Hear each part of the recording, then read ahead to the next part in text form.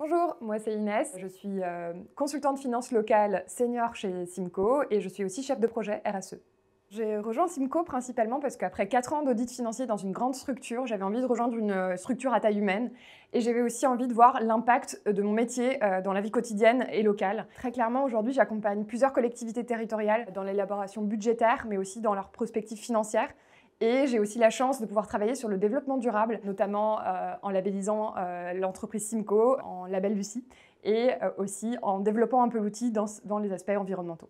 Rejoindre Simco, c'est rejoindre des équipes et des managers très bienveillants. C'est aussi venir pour apporter des solutions innovantes aux collectivités qui, elles, sont dans des contextes réglementaires mais aussi environnementaux très changeants.